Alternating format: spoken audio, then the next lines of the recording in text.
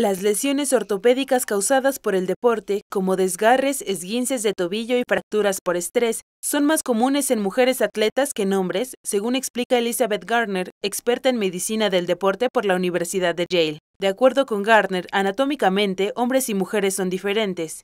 La pelvis femenina es más ancha y esto repercute en el funcionamiento del hueso del muslo, la tibia y el fémur, que ejercen más presión sobre los tejidos blandos que sostienen las articulaciones. Esta presión puede ocasionar lesiones crónicas o agudas. La producción hormonal también puede ser un elemento determinante, pues las mujeres producen niveles mínimos de testosterona, hormona que incrementa la densidad muscular. Además, los altos niveles de estrógeno en el cuerpo femenino favorecen la relajación de tendones y ligamentos. Se recomienda a las mujeres llevar a cabo un entrenamiento que les permita mantener un balance de fuerza entre los músculos del cuádriceps y los músculos posteriores que estabilizan las rodillas y los tobillos, con el fin de evitar lesiones en rodillas, pantorrillas y tobillos.